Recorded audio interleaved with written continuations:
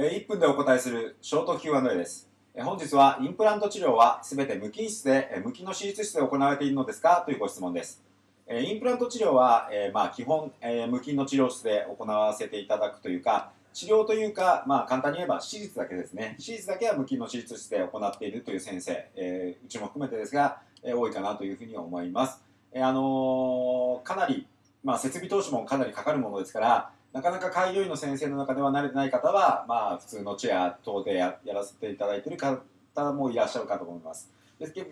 できれば、まあ、無菌の手術室を持ってらっしゃる先生の方が、まあ、その辺はいいのかなというふうに思いますし、その辺は患者様の選択肢ですから、その辺で考えていただければいいのかなというふうに思います。本日は以上です。